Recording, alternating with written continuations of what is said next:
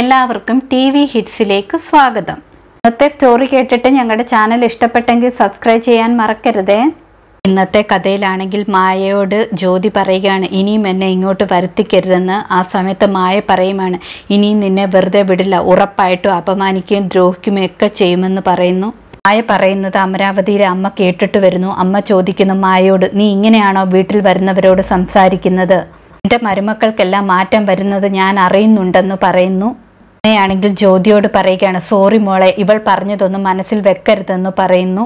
ജ്യോതി പറയുവാണ് ഈ മരുമക്കളാണെങ്കിൽ എന്റെ അച്ഛനെയും അമ്മയും ശരിക്കും അപമാനിക്കാൻ ശ്രമിച്ചെന്ന് പറയുന്നു. അപ്പോൾ അമ്മ പറയുകയാണ് എന്റെ മകൻ അതിന് വന്ന് മാപ്പ് പറഞ്ഞില്ലേ? ഇവളെ കൊണ്ട് മാപ്പ് മറയിപ്പിച്ചില്ലേ?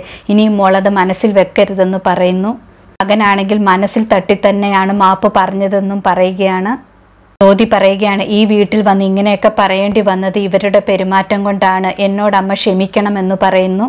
പോയി കഴിഞ്ഞിട്ടാണെങ്കിൽ മായ ചോദിക്കുകയാണ് അവൾ കരഞ്ഞു കാണിച്ചപ്പോൾ അമ്മ അതിൽ വീണോ എന്ന്? അപ്പോൾ അമ്മ പറയുകയാണ് നീ കൂടുതലൊന്നും ന്യായീകരിച്ച് പറഞ്ഞ് വഷളാക്കണ്ട എന്ന്. പിന്നീടാണെങ്കിൽ ഡി കെയുടെ ഓഫീസിലേക്ക് പൗർണമി വരുന്നു. പൗർണമി ചോദിച്ചു എന്നെ എന്തിനാണ് ഡി കെ വിളിച്ചു വരുത്തിയത്? പെണ്ണിനെ കണ്ടുപിടിച്ചോ? എന്ന് ചോദിക്കുന്നു. ഡി കെ പറയുകയാണ് അതിന് നിന്റെ സഹായം വേണ്ടിവരും അതിനു വേണ്ടിയാണ് നിന്നെ വിളിച്ചതെന്ന് പറയുന്നു. സംസാരിക്കുന്നതെല്ലാം ചിത്രയുടെ ഹസ്ബൻഡ് ഒളിഞ്ഞു നിന്ന് കേൾക്കുകയാണ്. പൗർണമി പറയാണ് സുപ്രിയ ആണെങ്കിൽ നിന്നെക്കുറിച്ച് എപ്പോഴും പറയുന്നത് കേട്ട് എനിക്ക് തന്നെ നിന്നെ കെട്ടാൻ തോന്നിയിട്ടുണ്ട്. അതൊരിക്കൽ ഞാൻ അവളോട് പറഞ്ഞിട്ടുണ്ട്. അങ്ങനെ പറഞ്ഞപ്പോൾ അവൾ എനിക്കൊരു സൗജന്യം തന്നു. അവൾ മരിച്ചാൽ എന്നോളാൻ പറഞ്ഞിട്ടുണ്ട്. ഡി കെ അപ്പോൾ പറയുകയാണ് അതിൽ നിന്നേ മനസ്സിലാക്കാൻ നിന്നോട് അവൾക്ക് എത്രമാത്രം സ്നേഹമുണ്ടായിരുന്നു എന്ന് പറയുന്നു. പൂർണമി ചോദിക്കുകയാണ് നിനക്ക് വേണ്ടി ഞാൻ എന്താണ് ചെയ്യേണ്ടത്? സുപ്രിയയ്ക്ക് വേണ്ടി ഞാൻ എന്തു വേണമെങ്കിലും ചെയ്യുമെന്ന് പറയുന്നു. ഈ സമയത്താണെങ്കിൽ ചിത്രയുടെ ഹസ്ബൻഡ് ആണെങ്കിൽ വിചാരിക്കുകയാണ് ഇവളെ സൂക്ഷിക്കണം ഇവളായിരിക്കും ചിലപ്പോൾ ഡി കെ കെട്ടാൻ തീരുമാനിച്ചിരിക്കുന്നതെന്ന്. കെ പറയുകയാണ് നിന്നോട് മാത്രമേ എനിക്ക് മനസ്സ് തുറന്ന് സംസാരിക്കാൻ പറ്റുകയുള്ളൂ. സുപ്രിയയുടെ ആഗ്രഹം നടക്കണം. അതിനുവേണ്ടി നീ എന്നെ ഹെൽപ്പ് ചെയ്യണമെന്ന് പറയുന്നു. സംസാരിക്കുന്ന എല്ലാം കേട്ടിട്ട് ചിത്രയുടെ ഹസ്ബൻഡ് മനസ്സിൽ പറയുകയാണ് ഡി കെയുടെ എല്ലാ ആഗ്രഹങ്ങളും ഇപ്പം തന്നെ ചിത്രയെ വിളിച്ചു പറയണമെന്ന്. ജ്യോതിയാണെങ്കിൽ വീട്ടിലേക്ക് വരുന്നു. ആ സമയത്ത് മമ്മിയും അച്ഛനും ആണെങ്കിൽ കടയ്ക്ക് പോകാൻ വേണ്ടി ഇറങ്ങുന്നു. മമ്മിയാണെങ്കിൽ ജ്യോതിയോട് ചോദിക്കുമായിരുന്നു നീ എവിടെ പോയായിരുന്നു? ഈ വീട്ടിലെ കാര്യങ്ങൾ തീരുമാനിക്കുന്ന ഞങ്ങളാണോ നീയാണോ? എന്ന് ചോദിക്കുന്നു. ജ്യോതി അപ്പോൾ പറയുകയാണ് നമ്മളെ അപമാനിച്ചവരുടെ ഗിഫ്റ്റ് നമ്മൾ വാങ്ങുന്നത് ശരിയല്ല അത് പിന്നീടായാലും പ്രശ്നമാകുമെന്ന് പറയുന്നു.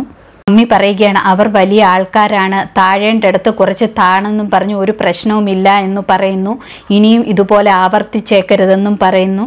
ഇനിയും അച്ഛനും പോയി കഴിഞ്ഞിട്ടാണെങ്കിൽ വേലക്കാരി ചേച്ചി ചോദിക്കുകയാണ് എന്തെങ്കിലും കുഴപ്പം അവിടെ പോയി ഉണ്ടാക്കിയോ എന്ന്. അപ്പോൾ ജ്യോതി പറയുകയാണ് നല്ല സദ്യ തന്നെ കൊടുത്തിട്ടാണ് ഞാൻ വരുന്നതെന്ന്.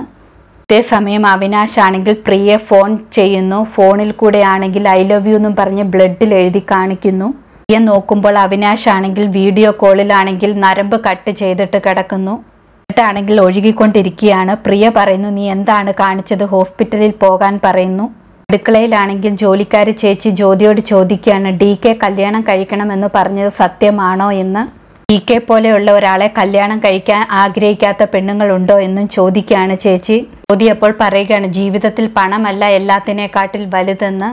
പറയുകയാണ് ആ സമയത്ത് എനിക്ക് മോളോട് പ്രിയയെക്കുറിച്ചൊരു കാര്യം പറയാനുണ്ടെന്ന്.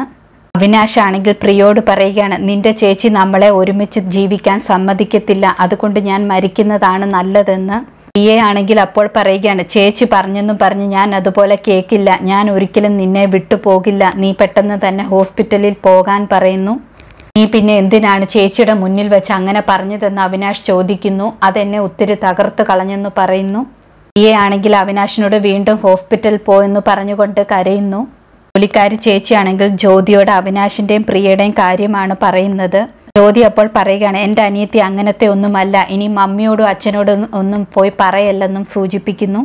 ജ്യോതി പറയുകയാണ് ആരൊക്കെ എന്തൊക്കെ പറഞ്ഞാലും എന്റെ അനിയത്തി ഞാൻ പറയുന്നതേ കേൾക്കത്തുള്ളൂ എന്ന് പറയുന്നു. ജോലിക്കാരി ചേച്ചി അപ്പോൾ പറയുകയാണ് കുറച്ച് കഴിയുമ്പോൾ മോൾക്കെല്ലാം മനസ്സിലാകുമെന്ന്. ജ്യോതി റൂമിലേക്ക് പോകുന്നു. ആണെങ്കിൽ റൂമിലേക്ക് ചെല്ലുമ്പോൾ പ്രിയ ആണെങ്കിൽ വെയിൻ കട്ട് ചെയ്തിട്ട് ബ്ലഡിൽ കുളിച്ചാണെങ്കിൽ മയങ്ങി കിടക്കുന്നു. ജ്യോതി ആണെങ്കിൽ പെട്ടെന്ന് തന്നെ തുണിയാണെങ്കിൽ കട്ട് ചെയ്ത് കയ്യിൽ കെട്ടിവെക്കുന്നു പിന്നീട് ജോലിക്കാരി ചേച്ചിയും ജ്യോതിയും കൂടെ ആണെങ്കിൽ പ്രിയെ ഹോസ്പിറ്റലിൽ എമർജൻസി ആയിട്ട് കൂട്ടിയിട്ട് പോവുകയാണ്.